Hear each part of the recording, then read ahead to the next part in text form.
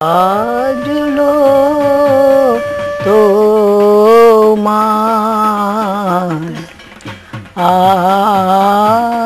আলোর বেণু। মাতল যে ভুবন বাজলো তোমার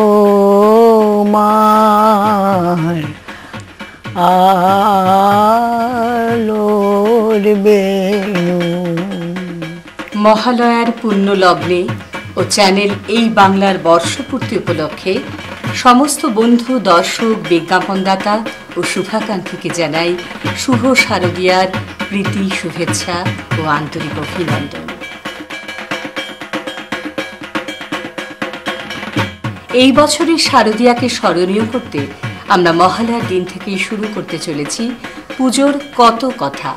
এই অনুষ্ঠানটিতে উপস্থিত থাকবেন সাহিত্য, কলা, সংগীত, কবিতা ও ফ্যাশনের সঙ্গে যুক্ত থাকা বিখ্যাত ব্যক্তিত্বরা।